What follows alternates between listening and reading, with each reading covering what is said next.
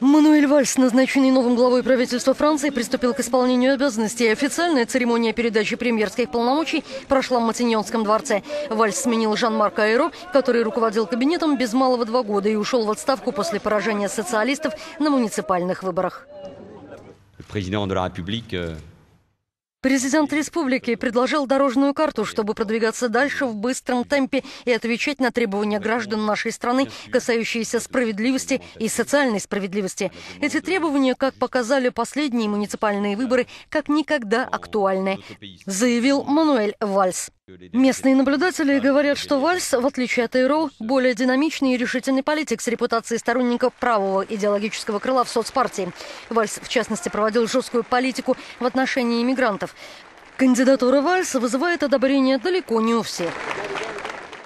Я не думаю, что именно таким было послание левых избирателей Оланду. Они бы хотели, чтобы премьером стал классический представитель социалистов.